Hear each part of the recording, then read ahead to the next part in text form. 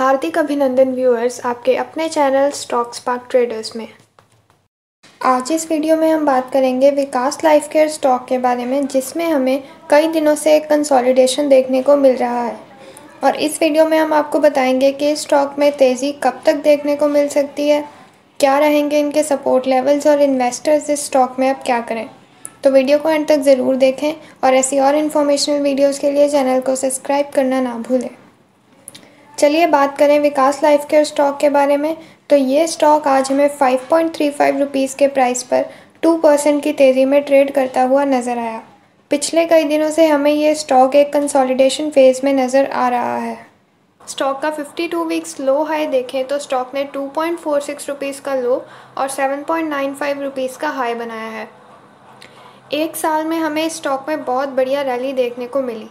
जिसके कारण कई दिनों से हमें स्टॉक में इस लेवल के आसपास कंसोलिडेशन देखने को मिल रही है, जो कि कोई बड़ी बात नहीं है। अक्सर स्टॉक्स में बड़ी रैली होने के बाद एक प्रॉफिट बुकिंग देखने को मिलती है और कुछ समय के लिए स्टॉक एक रेंज में ट्रेड करना शुरू कर देता है।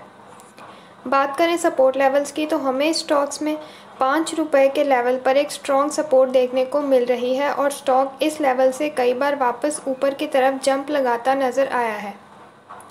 बात करें इन्वेस्टर्स की तो इन्वेस्टर्स इसमें बिल्कुल भी पैनिक ना करें और नेक्स्ट क्वार्टर रिजल्ट्स तक वेट करें। हमें उम्मीद है नेक्स्ट क्वार्टर रिज़ल्ट से पहले ही हमें स्टॉक में बड़ी तेज़ी देखने को मिल सकती है। तो आज के वीडियो के लिए बस इतना ही। मिलते हैं नई वीडियो में नए अपडेट्स के साथ।